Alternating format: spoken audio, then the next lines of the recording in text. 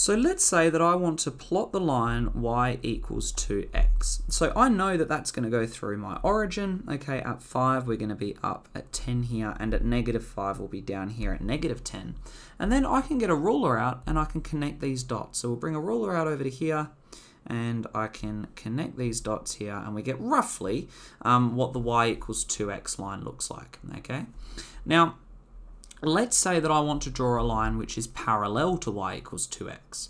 Remember, parallel lines are those which run alongside each other, keeping the same distance apart, okay, but they never meet. So for example, this line here would be parallel. So we could get, oh, I'll just pop that ruler in.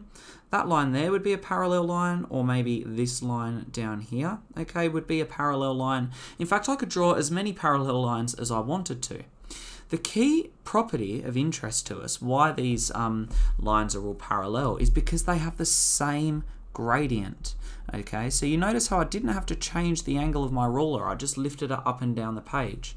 So line number one, line number two, and line number three here, okay, they all have the same gradient. And in this case, the gradient is 2, okay, because it's y equals 2x.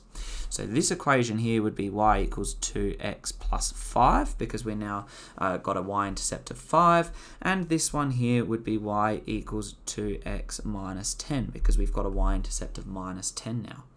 But all of the gradients are the same.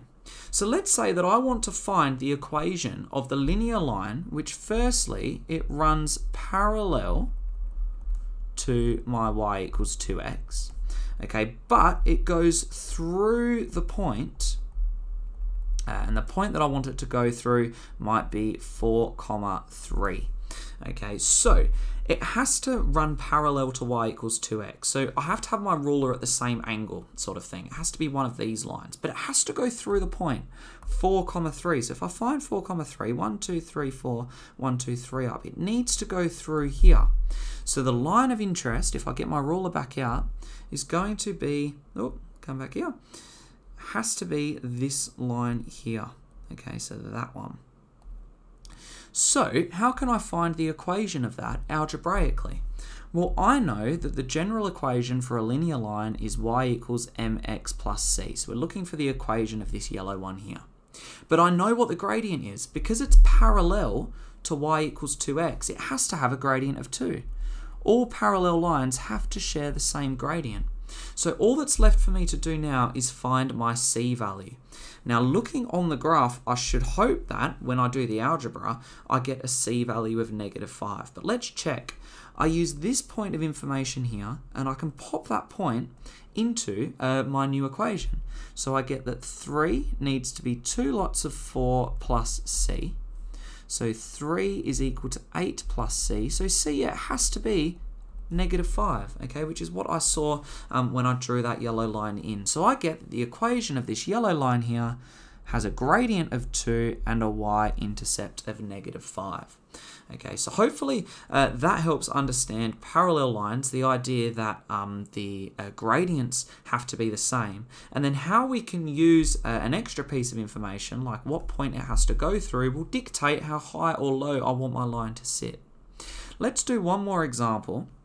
So let's say that I want uh, to find the equation of a line, which firstly, it has to run parallel to y equals 3x plus 1 okay and it has to go through the point um, and we might go through the point 2 comma 13 okay so I know that the equation of any linear line has to be y equals mx plus c and if it's going to be parallel to y equals 3x plus 1, then it has to share the same gradient. And the gradient of this line is 3. So we have to have the same gradient. We know that for it to be parallel. The only other thing I've got to think about now is how high, up or down, do I want my um, line to be? If you think about what we did up here, do I want it to be line number one? Do I want it to be line number two, line number three? No, we wanted it to be line number four. We needed it to be the yellow one.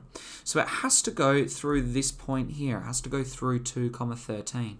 So I can work out how high my plus c needs to be by substituting that point into my new equation. So my y is 13 my x is 2, and I can solve for c now. So 13 is equal to 6 plus c, so c would have to be 7.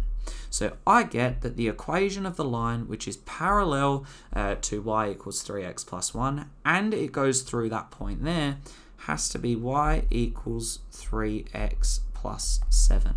So that's how we can find the equation of parallel lines.